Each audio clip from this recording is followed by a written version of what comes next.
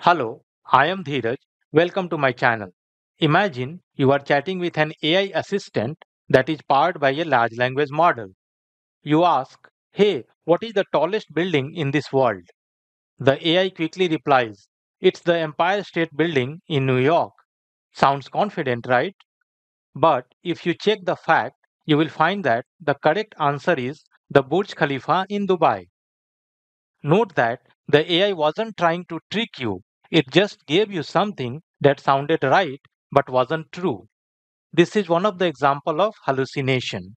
In this video, I will discuss what is hallucination and why hallucinations happen in LLMs and most importantly, what techniques we can use to reduce it.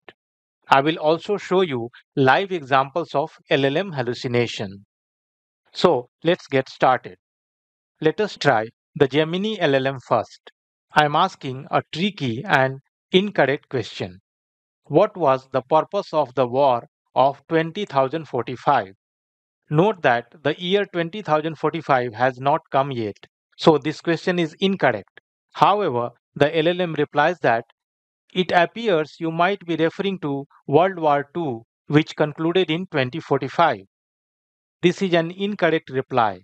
It should have said the year 20,045 will come in future, so your question is incorrect. But it did not say that and responded incorrectly. This is an example of hallucination. Now, let us try the latest LLM, ChatGPT 5. I am asking a math and logic question to ChatGPT 5. What single digit appears least frequently between and including the numbers 1 and 1000? It does all the calculations and comes with a table where digit 1 appears 301 times but all other digits appears 300 times. However, it is answering the least frequent single digit is 0, which is incorrect answer. Because all other digits except 1 should be counted as least frequent. This is an example of hallucination. Then I ask it again, hey, the least frequent digits should be 0 to 9 except 1, right? Then it rewrites a part of the answer and agrees to me. Note that in both the examples, the LLM wasn't trying to deceive us. It generated something that sounded believable but wasn't factually true. Just like a friend who improvises when unsure, LLMs sometimes make up information. Alright, after looking at the live example, let's define and discuss in detail what do we mean by hallucination in the next slide. In the context of AI and LLMs, hallucination means the model generates outputs that could be factually incorrect. In this case, LLM provides wrong statistics, names, or dates. Fabricated. In this case, LLM starts inventing books, authors, or scientific studies that don't exist. Irrelevant. In this case, LLM provides unrelated information with misplaced confidence. Unlike humans, who can say, I don't know, LLMs are trained to almost always provide an answer. This makes them prone to sounding right while being wrong sometimes. Let's discuss why do LLMs hallucinate? Hallucinations are not random accidents. They are baked into how these models are trained and how they function. Let's break down the main reasons. Training data limitations. LLMs are trained on massive amounts of internet text, but the internet has errors and misinformation as well. Not every fact is covered. If you ask something not well known, the model might guess. Models cannot fact check against a database unless explicitly designed to do so. Next word prediction nature. At their core, LLMs are statistical next word predictors. If asked, what is the capital of France, the probability of Paris is high.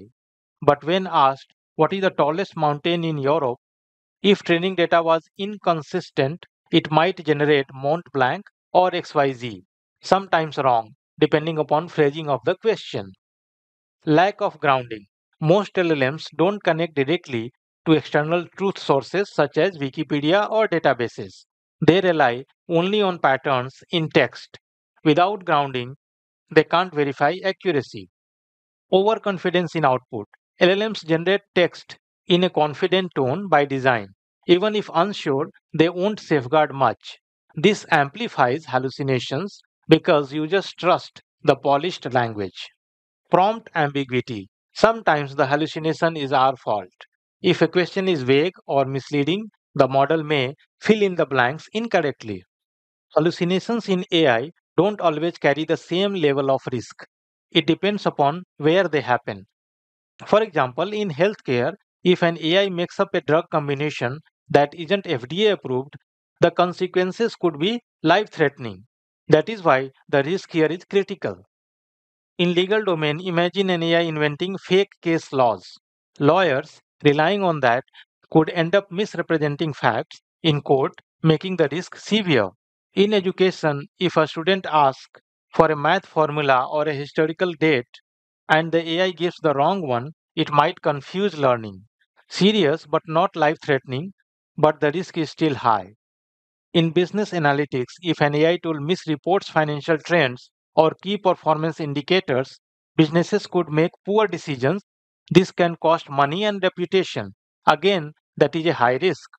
During casual chat, on the lighter side, if the AI makes up a response, for example, if it claims penguins can fly, it is just silly. However, here the risk is low.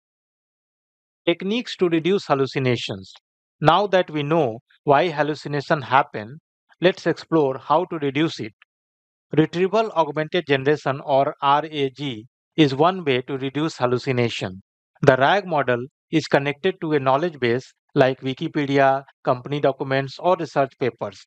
Instead of relying only on memory, it fetches real data before answering. For example, it can use ChatGPT plugins or LangChain powered bots.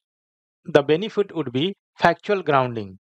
The drawback is it requires well maintained databases. Fine tuning with domain data can reduce hallucination. Fine tuning a base model with domain specific datasets, for example, medical records, financial data, ensures the model learns correct, precise patterns. The benefit is higher accuracy in specialized fields. The drawback is expensive and data hungry. Prompt engineering can reduce hallucination. Carefully crafted prompts can reduce ambiguity. For example, instead of asking, Tell me about the energy uses in India, ask, based on official reports from 2022, what was India's percentage of renewable energy uses? The benefit is it guides models towards grounded answers. The drawback is it is user dependent and doesn't fix root issue. Temperature adjustment can reduce hallucination. Lowering temperature makes model less creative and more deterministic.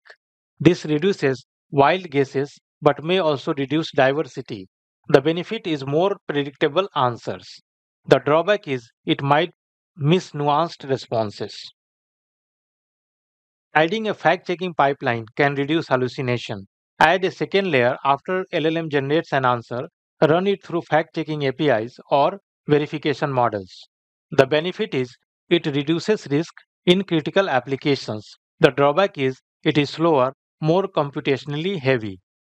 Human in the loop system can reduce hallucination.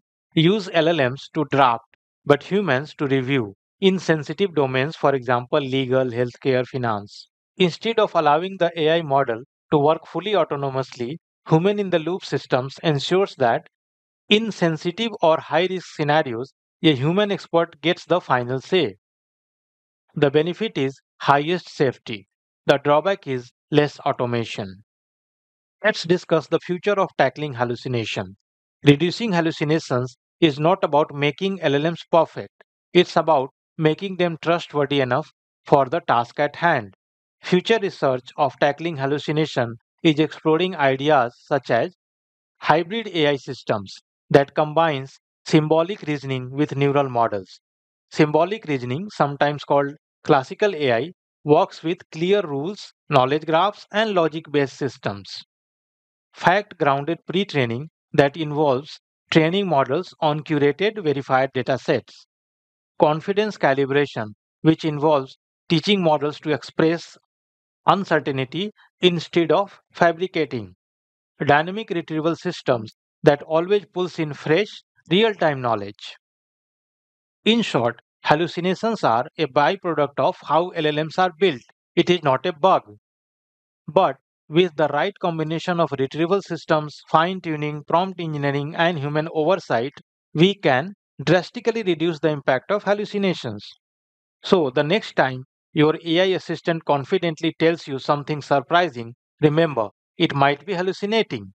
And the smarter we get at spotting and reducing hallucination, the closer we move towards truly trustworthy AI system.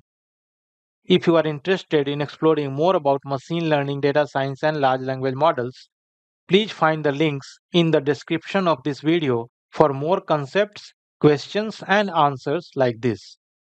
Thanks for watching. I hope you enjoyed this tutorial and found it insightful. If you learned something new, please like the video, share it, and subscribe to the channel. Also, consider sharing your thoughts in the comments below. Please don't forget to subscribe for more interesting tutorials and the latest updates. For more interesting concepts, questions, and responses like this, please follow the links in the description of this video.